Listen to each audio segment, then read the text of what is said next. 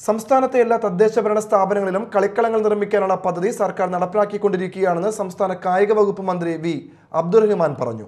ഇപ്പോൾ സംസ്ഥാനത്ത് നാനൂറ്റി അറുപത്തഞ്ച് തദ്ദേശ ഭരണ സ്ഥാപനങ്ങളിൽ നല്ല സ്പോർട്സ് കോംപ്ലക്സുകളുണ്ട്. അധികം വൈകാതെ എല്ലാ പഞ്ചായത്തുകളിലും നഗരസഭകളിലും കളിക്കളം നിർമ്മാണം പൂർത്തിയാക്കുമെന്നും മന്ത്രി പറഞ്ഞു. Advocate V. R. Sunilkumar M. L. എയുടെ ആസ്തി വികസന ഫണ്ടിൽ നിന്ന് എൺപത് ലക്ഷം രൂപ ചെലവഴിച്ച് ടി. കെ. എസ്. പുരത്ത് നിർമ്മിച്ച മുനിസിപ്പൽ സ്പോർട്സ് കോംപ്ലക്സിന്റെ ഉദ്ഘാടനം നിർവഹിച്ച് സംസാരിക്കുകയായിരുന്നു മന്ത്രി. Advocate V R Sunilkumar M L A അധ്യക്ഷത വഹിച്ചു.